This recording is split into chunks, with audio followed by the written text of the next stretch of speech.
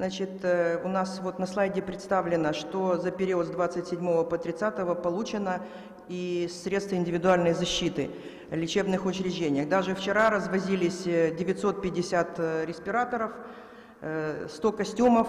И сегодня Левон Рубенович обещает, что у него будет поставка 500 э, комплектов индивидуальной защиты. И мы это очень ждем для инфекционной больницы.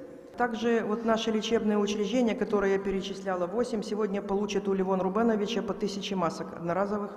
У них есть, но тем не менее мы хотим, чтобы непрерывно пополнялся запас. Э, Также для обеспечения работы понятно, что нам не хватит кадров, и у меня были переговоры с администрацией медицинского университета. Значит, э, Минздрав запрещает привлечение студентов э, к этой ситуации, ковиду.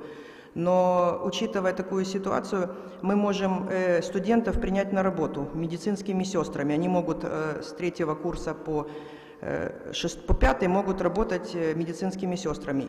Значит, также решен вопрос, практически решен вопрос по доезду более 2000, ну, у нас более 2000 иногородних жителей.